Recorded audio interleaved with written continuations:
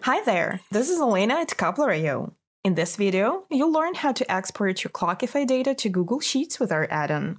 Coupler.io can be downloaded on the G Suite Marketplace.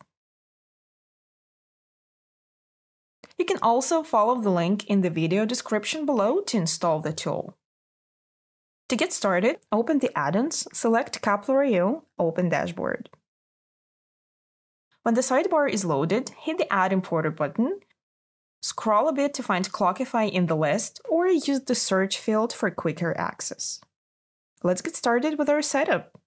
The flow consists of four steps naming your importer, setting up the data source, setting up the data destination, and scheduling setup.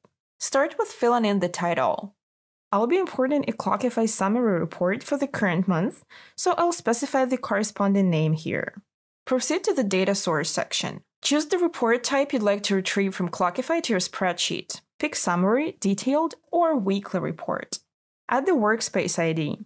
To get it, log into your Clockify tracker, go to Settings, and Workspace. The ID makes the part of the URL on this page. Here is mine. Copy it and paste into Coupler.io. Add the API key. It can be found in Settings, Profile. Find the API section in the bottom of the page and copy your API key, or click on Generate to create a new one. Then paste it here. If you want to import a report of a specific date range, click Show Advanced and specify the start and the end date. Here you will set up your data destination. First, you'll need to connect your account. Press Connect, select the needed account, and close the pop-up window. By default, Coupler.io will use your importer name as the sheet name, so you can leave this field blank if it works for you. If the sheet with such name doesn't exist in your document yet, Coupler.io will generate it for you. I've created one earlier, here it is, so my data will come straight to it. Coupler.io overrides data on reimports, but if you want to keep some space for formulas, you can shift it by specifying the custom cell address. Click Show Advanced and type in the cell address of your choice. For example, if you want to have formulas in column A, enter B1 here and column A will be kept untouched during data reimport. Proceed to Settings. To enable the automatic data refresh, switch this toggle on and pick the interval.